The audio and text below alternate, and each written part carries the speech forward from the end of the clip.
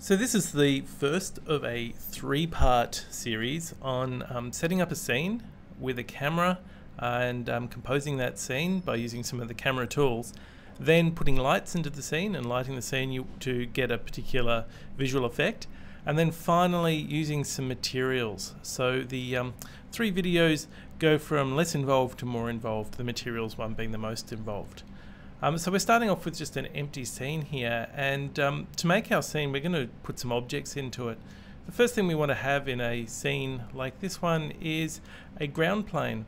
So the ground plane is just a, a plane we just created up here by uh, clicking on this button and what we're going to do is we're just going to scale this plane up. So we're going to come over here to our channel box and select these three um, properties here for scale and we're going to scale that up to 25. That makes our um, plane get nice and big like this and that means that we've got kind of a ground to see when we um, render the scene. Um, you can see it's divided into um, 10 by 10 so we're going to fix that as well. We're going to come down to polyplane here and just change both of these to 1 and that way we'll just have one big plane. One other thing we can do here, um, just to give ourselves a little bit more to work with in our scene, is we can bring these uh, edges at the side here up. So we'll go into edge select mode, bring both, select both of those edges there, and then using your W key, hold down shift and extrude those edges up. So now we've got a kind of a, a box with a background on it that we can um, start to put things in. So now we need objects to put in here. In the past, we've uh, used things like a, a, ball or something like that in our scene, but we can do a bit better than that um, after the previous week's work where we modeled an object. We can bring in that object. So um, often you'll find that you've got things in other files that you want to bring into a file. So we can go up to the File menu here and select Import, and then we can choose uh, another Maya file. So I'm going to choose the one that I saved my dog into, and when I click uh, OK on that, see it imports the contents of that file into here, including these reference images. So the, I want to get rid of those reference images. I'll click on my layer over here and then right click on it and click delete layer. And then I will select both of these dog images over here in the outliner. Remember, you can click this button here to toggle the outliner on and off. I'm going to click both of these in the outliner and then just my delete key on my keyboard to delete them. And finally, just to make my life a bit easier, I'm going to name a couple of these. I'm going to call this one room. I'm going to call this one dog. I'm also going to move my dog um, up so that he's standing on the floor rather than sunk half into it. So I'm going to press my, my spacebar and I'm just going to use this side view here and bring the dog up just so that his feet are roughly on the bottom there. Okay, so there's my um, basic scene setup with a single dog. Now, um, what we're going to be doing in this exercise is we're going to be applying a number of different materials to different um, to, to different objects. So we're going to need more than one object. And for this particular tutorial, we want four objects. So I'm going to press Control D to duplicate my dog, and I'm just going to move these duplicates out a little bit, like this. Okay, so Control D each time and I'm just going to move them into kind of an interesting configuration. So maybe just to make it a bit more interesting, I'm just going to grab these guys and give them a, a little bit of rotation here. And maybe bring them around a little bit. Spread them out. Uh, maybe this one here can be rotated a bit this way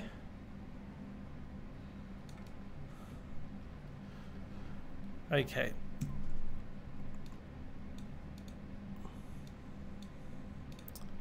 So there's no right or wrong way to do this. I'm just playing around with their positionings. Okay, so that gives me my um, dogs in, in a scene. Now, at this point, um, I can move my perspective camera around using um, using my um, Alt key and middle mouse button and left mouse button to rotate and my um, my scroll wheel to zoom. So I could compose a nice composition through here if I wanted to, but often you want to have a little bit more control than you can get through the perspective uh, view here. And it can be quite useful to actually have an object in your scene which acts as a camera especially when we come to animate a bit later. So what we're going to do is we're going to add a camera to our scene to add a camera to your scene, just go up to your create menu over here and you'll see that there is under here um, a cameras option. And see there are three different cameras, camera, camera and aim, camera, aim and up.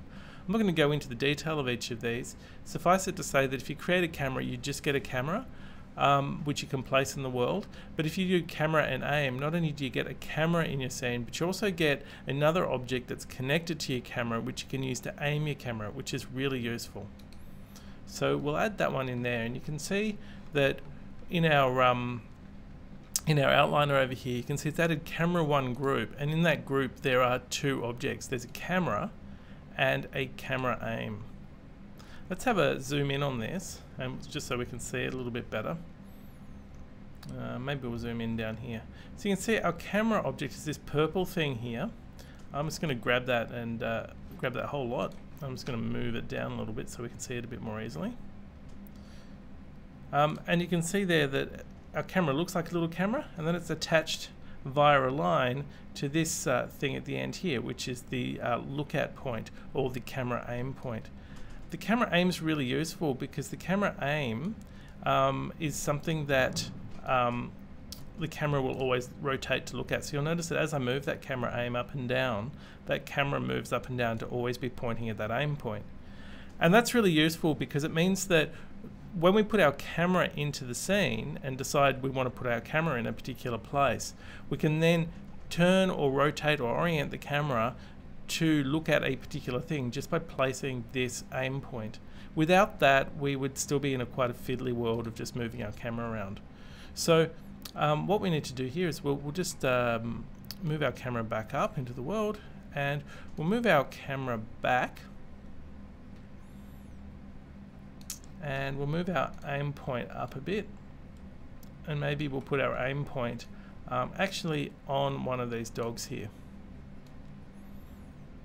Okay so that way the camera will be pointing at that dog now if we want to see what that camera looks like uh, want to see a view through that camera we can go up here to the view menu and we can cycle through cameras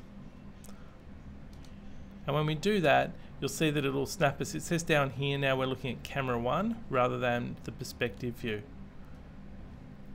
Now at this point, if I want to change this view, so this isn't great at the moment because I can only see one of the dogs here.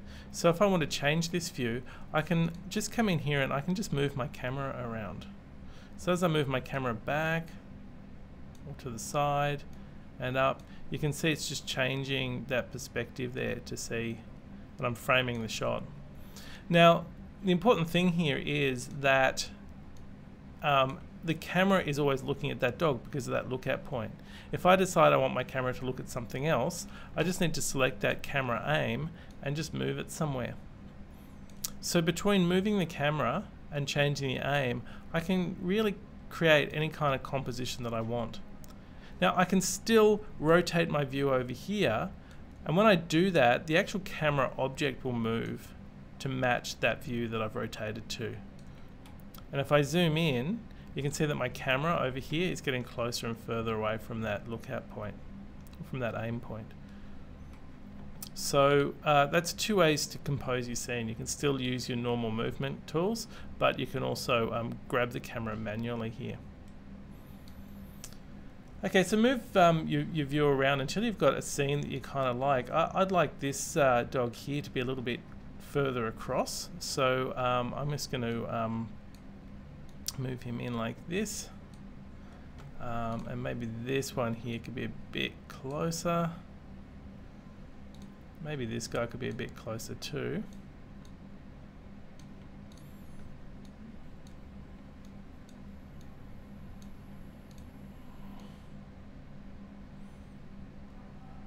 I don't know. Just trying to get a scene that I, I kind of like the look of.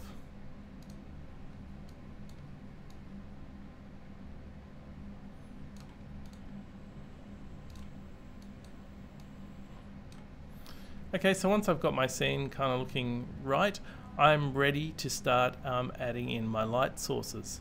And uh, that will be the subject of the next video.